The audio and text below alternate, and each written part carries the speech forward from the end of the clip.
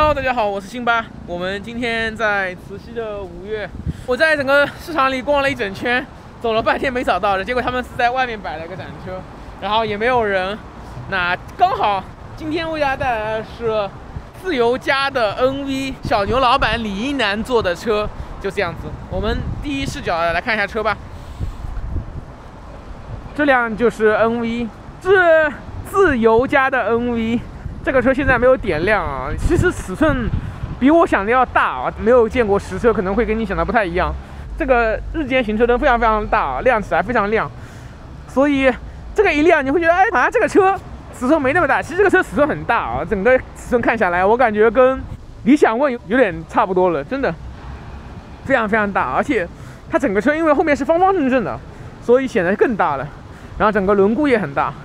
这个车给我感觉就是跟我想象的不一样啊！这辆车如果说不是这样子实际看到，你会觉得这辆车可能就是一个二十万元价位的这么个尺寸，但是实际表现它就是确实是在大型的 SUV。然后我们现在这辆展车不知道什么配置的，它现在一共是有三个配置啊，一个是纯电的低配，然后是一个混动的版本，然后是一个顶配，顶配是长续航的。大家可以给外观打分，如果满分十分，你觉得这个车的外观你给几分？其实我蛮喜欢这样子，就是完全没有人干扰，我们自己拍自己的，哈哈，特别好。然后看一下轮毂吧，这轮毂我记得是二十寸的，米其林的，米其林的二十寸轮毂，然后二五五五五 R 二十啊。这个轮胎我有一点要讲的是，它比同级别的二十寸的轮胎是要大的，因为很多二十寸轮胎到 R 二零的时候，它其实轮胎可能是四零或者说四五啊，它是直接五五啊。这个厚度是怎么看？是二五五的百分之五十五，懂我意思吗？是二五五的百分之二五十五。其实这个轮胎是很厚的，所以这个车的定位并不是那种我们说的普通的那种城市用 SUV，它是有一点点坚固的。而且他们官方有提到说它的那个涉水高度是有四百五十毫米嘛，差不多是半米的样子，其实是有一定涉水能力的。他想的是兼顾一些城市跟郊外的这种旅行吧，可以这么理解。然后整个车比较方正啊，整个侧面我觉得特别像，这么说不太好，但是因为挺像路虎的。然后这个大灯，那会有人说说这个大灯是像路虎啊，像像路虎的那个新卫士。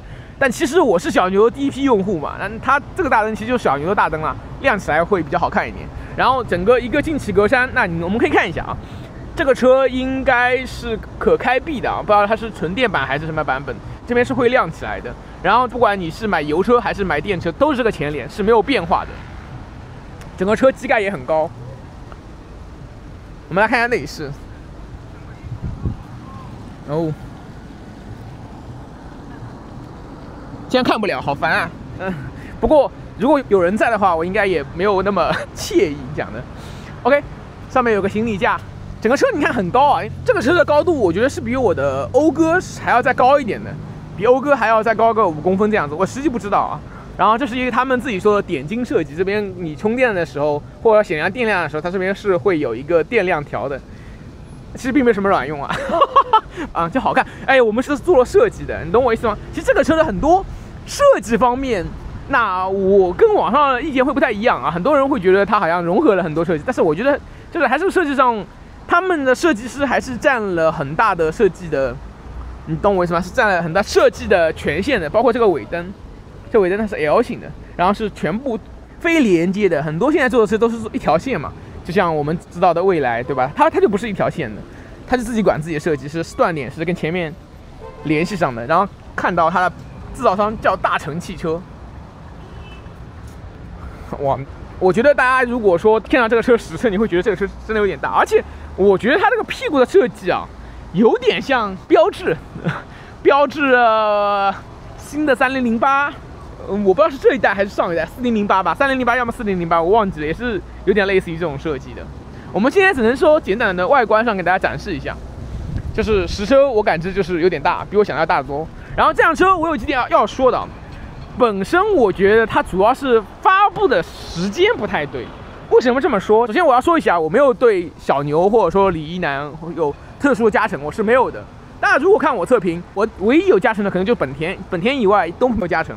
这辆车我我说几点，第一点是它发布时间，我记得是三月份的时候他们就在说北京车展要上，然后当时就要公布售价。如果它在三月份上，或者说五月份上，嗯，这个定价二十七万定出来，我觉得还是性价比高的。但是在今天二零二二年的十月份，它发布的这个车，我觉得它定价要直接面对啊。虽然它还是让了一步，正常以它这个尺寸，我觉得可能定到三十万也没什么毛病，因为它尺寸在这里了。但它现在要面对的是理想的 L 八，它对手很强。呃，我说实话，它的对手很强，L 八、L 七，那包括我觉得其实这个级别对手啊，卷的一逼，选的离谱。你比如说小鹏的 G 九也是这个价位的，小鹏 G 九其实竞争力很强啊，非常强。这个视频肯定比 G 九购买推荐晚。如果说你对我小鹏 G 九有意见，可以去看一下我们的购买推荐。现在这个价格，我就说两点啊，第一点是整个自由家的这台车。它的自动驾驶我觉得不够强，当然它到了二十七万，我可以让一步，我觉得没有那么强也可以，哪怕它用增程也没有激光雷达都没有问题。它也是少有的没有激光雷达，它敢说它要做到城市 NOA 的，这点我们打个问号。那反正到时候看车，到实际展现再说。另外一个是整个车，我觉得它的低配跟高配，它的标准配置续航不够长，长续航续航也不够长。因为大家都到了七百多了，你才能叫长续航。你连七百都不到，你低配只有四百多，我觉得低配你怎么也得五百吧？现在二零二二年这个节点了，你作为这个尺寸的车，我觉得你低配到五百是应该的。那没有到，在我眼里这个反而是不可原谅的。整个尺寸造型，我觉得倒没什么问题。我对这种新鲜势力我是持褒义的，因为我认为市场上有更多的车会更好玩，但是它的产品竞争力，呃，我不知道开起来怎么样啊，反正。我要持一定的怀疑，就是从性价比来讲，我对它的要求还是我觉得性价比是第一位的。然后这个车基本上是毫米波雷达，基本上都是以毫米波雷达跟摄像头为主。然后它是后期是可以升的，它讲自动驾驶的话，它是后期预留雷达接口的。它这边是单目的，后期会升级一个双目，然后用了增程五，增程五的双颗是算力两百五吧。两百五的算力，算力不能说不够了，只是我对纯视觉方案，包括仅用毫米波雷达，我是持一定怀疑态度的。我是认为还是得用激光雷达。我们看看内饰啊，其实这辆车还有一个亮点，我们现在展现不出来，就是它这个车是少有的，我没有遇到过第一个国内的做新势力的车，它是可以用 CarPlay 的。那我相信很多人是喜欢 CarPlay 的。包括我自己啊，我用讴歌的 RDX 的时候，我是一直用 CarPlay 的。我觉得 CarPlay 还是一套很好用的系统。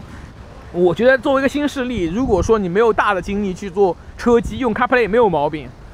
我觉得真的没有毛病，而且它是 CarPlay 跟自己的那一整套是可以连在一起的，我觉得特别好，特别好。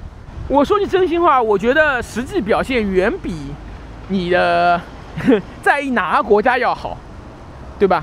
我是欢迎。CarPlay 进来跟华为一起竞争，国内车机一起竞争，我觉得没有毛病。只有竞争才会进步嘛。我们是一个开放的国家，对吧？我是认为我们国家一直是包容的态度啊。我一直在看法就是国内做得好，一模一样价格，我给你买国内。然后来讲一下这大灯啊，其实这个大灯有有一点有意思的地方，它这么大一整块，它其实就是示宽灯，就是这个地方只是展示一下的，真正大灯在这边。这两颗小灯，一个近光，一个远光。这点也挺有意思的，当然，我觉得最关键的是，他们还是我觉得权限给的很高，就是一般来说，国内像它这种大面积的用突出撞点的设计的厂家还比较少的，这点我还是觉得要给个赞吧，我觉得没毛病。OK，这就是自由加 NV 的简短的外观体验。现在我也没有看到他们这边有任何的销售人员可以让我们试驾一下，应该也试驾不了。那找机会拍一个详细的动态体验吧。我们今天简短体验就到这里，我是辛巴，拜拜。